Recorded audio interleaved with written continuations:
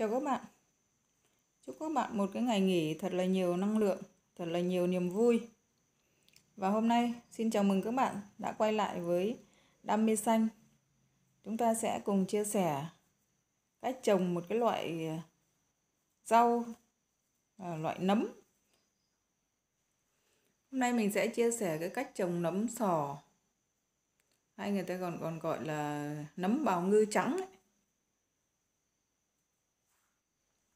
Có thể nói là cái nấm sò nấm sò này là một cái loại nấm khá là dễ trồng và khá là phổ biến với ờ, tất cả các gia đình. Giờ là vào mùa nấm rồi chúng ta sẽ thấy rất là nhiều ở các cái chợ các cái siêu thị ừ, cái loại nấm này. Và giá thành cũng không quá là cao rất là uh, bình dân rất là vừa phải và cũng được rất nhiều người ưa chuộng cái loại nấm này. Nhưng mà để trồng trong cái gia đình ấy, thì mình thấy là chưa nhiều. Hôm nay chúng ta sẽ cùng chia sẻ xem là cái cách trồng nó có gì khó khăn không các bạn nhé. Đầu tiên là chúng ta sẽ mua những cái phôi nấm về. Thì tùy cái điều kiện cũng như là cái sở thích cái khả năng của các bạn mà chúng ta có thể là mua cái số lượng phôi nó nhiều hay là ít?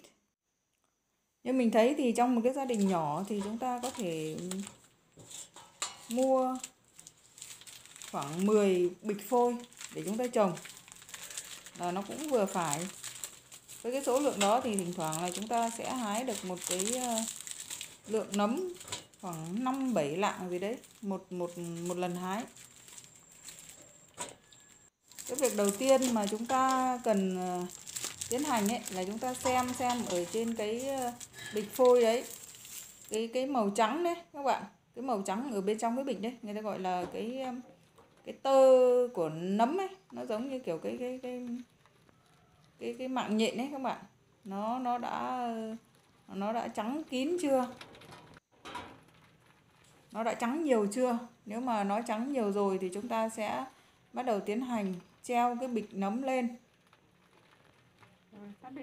bởi vì là khi là treo lên ấy là cái lúc mà chúng ta sẽ phải xử lý những cái bước tiếp theo để cho nấm nó có thể mọc ra.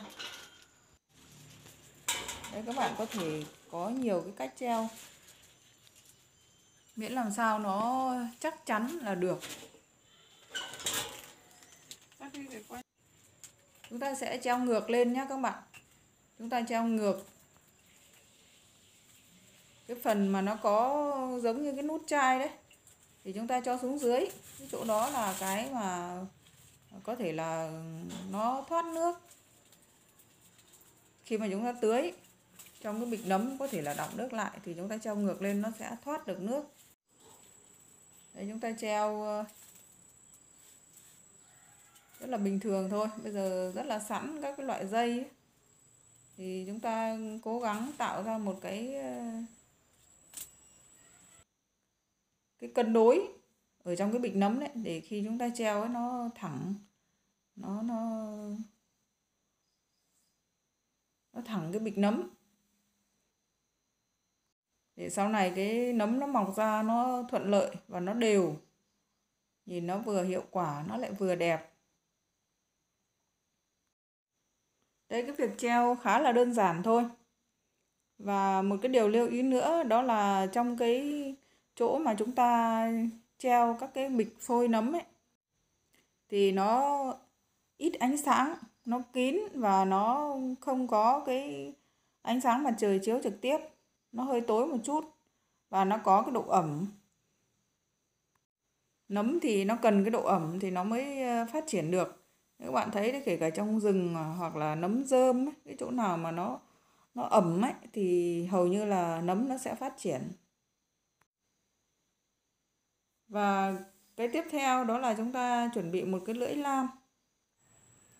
Đấy bây giờ là chúng ta treo xong rồi là chúng ta sẽ ờ, rạch những cái ờ, cái rạch nhỏ trên cái bịch nấm ấy. chúng ta rạch nhỏ và rạch nhẹ thôi. À, có nghĩa là cho nó chúng ta tưởng tượng như là nó rách cái túi bóng ra ấy, thì nó có cái chỗ nó sẽ mọc ra. Ý là như thế thôi chứ còn nó bịt kín lại thì nó sẽ không không mọc ra được. Mỗi cái bịch như thế chúng ta rạch khoảng 5 7 rạch gì đấy. Xen kẽ vào. Còn đây là cái bình tưới này. Cái bình tưới thì các bạn có thể tùy, chúng ta dùng loại nào cũng được. Nhưng mà tưới cái kiểu phun xương ấy các bạn. Đấy, chúng ta sẽ tưới trực tiếp lên xung quanh cái bình nấm để tạo ra một cái độ ẩm nhất định. Để cho cái nấm có thể mọc. một ngày chúng ta có thể tưới ờ, khoảng hai ba lần gì đấy. Khi phôi đã trắng thì khoảng một tuần thôi. Chúng ta sẽ được chứng kiến những cái cây nấm đầu tiên. Nó ra khỏi cái bình nấm. Và chỉ một ngày sang ngày thứ hai là chúng ta có thể hái được rồi. Khi mà nó đã ra nấm ấy, nó đã thành cái cây nấm ấy, thì nó lại rất là nhanh hầu như ngày nào chúng ta cũng sẽ được hái, chúng ta cũng được thu hoạch.